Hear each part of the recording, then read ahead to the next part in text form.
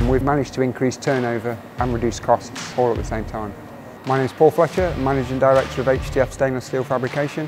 We bought a Photon Flex to take control of our supply chain and we've got the cost savings that go with that.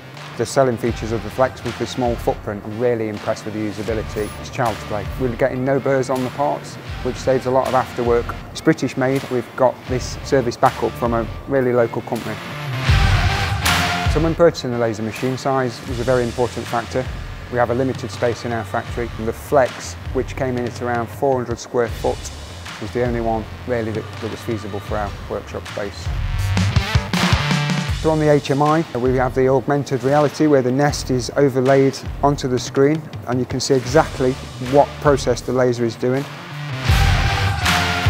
So with the Photon Flex, we're finding that the parts that we now laser cut in-house are coming in good, a considerable amount cheaper than when we were subbing things out. So we're becoming more efficient cost-wise and more efficient in delivery because we're in control of the supply chain.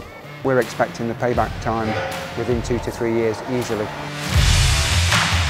So I was really impressed with the cut quality of the machine. The edges and holes are as good as any part we've had from expert laser cutters using machines.